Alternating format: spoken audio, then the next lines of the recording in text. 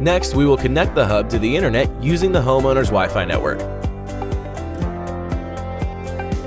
Note that connecting the hub to a Wi-Fi network is not necessary if it is connected directly using an Ethernet cable.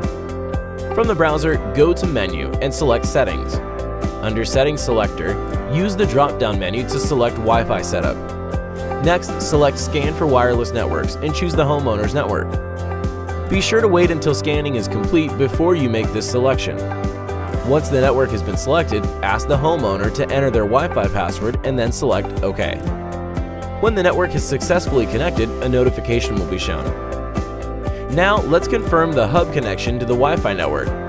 It is advised to wait a couple of minutes before going through this step since it takes the hub some time to establish an internet connection. The following steps are completed using the keypad on the hub. Press Menu, 8 in your installer code. Press Enter and then 6. The IP address will then be announced.